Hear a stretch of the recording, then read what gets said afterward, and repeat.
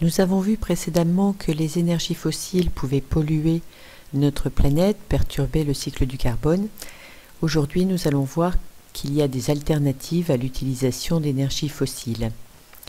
Tout d'abord, l'utilisation directe de l'énergie solaire.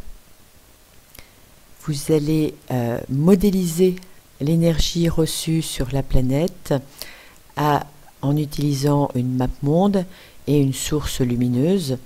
Vous allez commencer euh, par éclairer euh, votre globe à trois positions au niveau de l'équateur, à 20 degrés de latitude nord et à 50 degrés de latitude nord, c'est-à-dire au niveau de la France. Et vous allez remarquer que la zone éclairée est de plus en plus grande quand on s'éloigne de l'équateur. Ce qui s'explique ici euh, par le fait que les rayons lumineux arrivent obliquement euh, chez nous alors que ces rayons arrivent perpendiculairement à l'équateur. Donc vous notez le travail à faire. Il s'agit donc de placer une bande de papier millimétrée sur la map monde avant même d'éclairer. Entourer la surface éclairée à trois latitudes différentes comme je le disais. Mesurer cette surface éclairée, je vais vous expliquer comment, et en déduire la quantité d'énergie reçue. Donc pour la mesure, vous allez donc avoir trois taches de lumière aux différentes latitudes. Pour cette grande tâche que j'ai pris comme exemple, j'ai d'abord repéré les grands carrés qui étaient euh, visibles sur euh, le document. Donc ici j'ai 1, 2, 3, 4, 5, 6, 7, 8, 9, 10, 11, 12 et 13 euh, carré de 1 cm, ce qui me fait 13 cm carrés. Donc j'entoure cette zone et je note la surface correspondante. Je procède de la même façon. Ici, j'ai trouvé 1 cm carré tout entier. Euh, ici, j'ai pris 2 euh, euh, carreaux de large sur 5 de long, ce qui me fait 2 cm carrés. Ici, je n'avais pas tout à fait un centimètre carré, j'ai donc complété euh, par euh, des carrés voisins pour obtenir un centimètre carré. Enfin, quand je ne peux plus trouver une surface euh, d'un centimètre carré, je place des petits points et je les additionne. Ici, j'ai 25 petits carrés qui correspondent à un centimètre carré. Je vais faire donc ça sur la totalité de euh, la forme repérée et je vais faire l'addition pour obtenir la surface éclairée.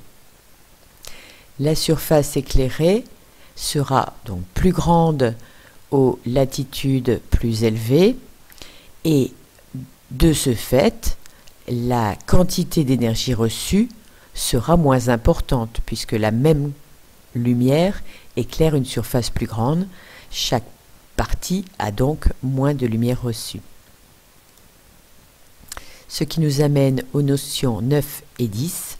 L'énergie solaire est inégalement reçue à la surface de la planète, donc c'est pas forcément utile de mettre des panneaux solaires euh, sur euh, les toits de notre région ou de régions encore plus élevées en latitude.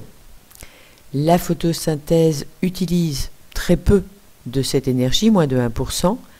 Le reste va chauffer l'air par l'intermédiaire du sol et l'eau, ce qui est à l'origine des vents et des courants marins, et évaporer l'eau, ce qui permet le cycle de l'eau.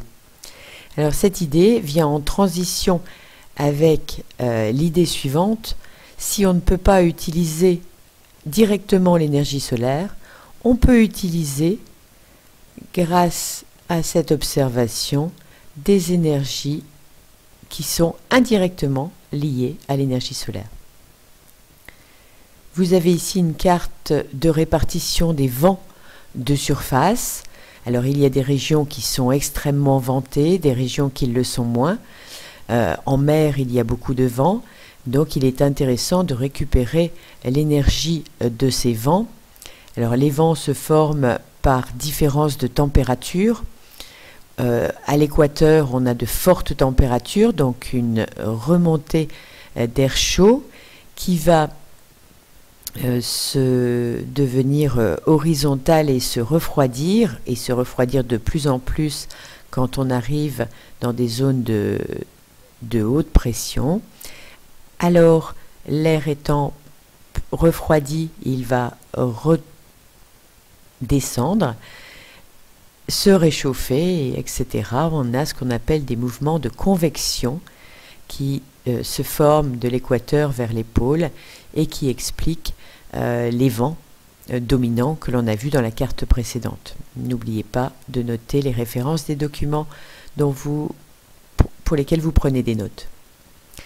Donc, les courants atmosphériques sont des vents et leur utilisation comme source d'énergie, ce sont bien sûr les éoliennes. Donc, utiliser euh, l'énergie des vents, c'est aussi utiliser de l'énergie solaire. Autre possibilité, utilisation de, des courants euh, qui s'établissent dans les mers. On a ici une modélisation que vous réaliserez euh, au prochain TP qui nous montre euh, un récipient relié à un autre par des tubes qui sont pour l'instant hermétiquement fermés.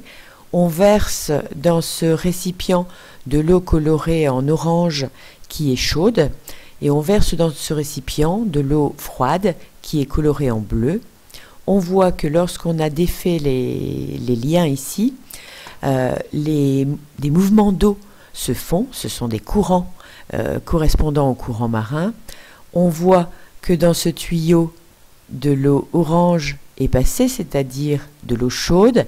Comme l'eau chaude est moins dense que l'eau froide, elle a tendance à monter, elle va ici vers la surface alors que l'eau froide bleue va, elle, remplir ce tuyau du bas et descendre dans le fond de ce récipient. Donc globalement, nous avons des courants océaniques qui, comme les courants atmosphériques, euh, décrivent des mouvements de convection. L'utilisation de courants océaniques est donc indirectement liée également à l'utilisation d'énergie solaire, puisque les eaux plus chaudes sont les eaux euh, équatoriales, les eaux plus froides, les eaux polaires. On peut utiliser ces courants océaniques en utilisant des hydroliennes. Alors une hydrolienne, c'est très discret, on ne voit qu'une toute petite partie en surface, mais bien sûr les pales, comme des pales d'une éolienne, se trouvent en, profondeur euh, de, l'océan euh, et euh, profite de ces courants marins pour tourner et faire marcher des turbines et produire de l'électricité.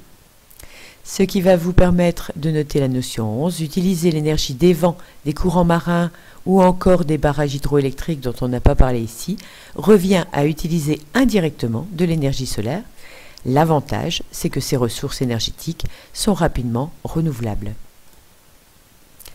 Nous arrivons à la conclusion qui sera la notion 12, la comparaison de l'énergie reçue par la planète et des besoins humains qu'on avait vus en début de chapitre permet de discuter de la place actuelle ou future de ces différentes formes d'énergie d'origine solaire. Il est clair qu'elles vont devoir être prépondérantes euh, dans l'avenir face à une population euh, qui est en croissance euh, permanente. Ceci termine ce chapitre.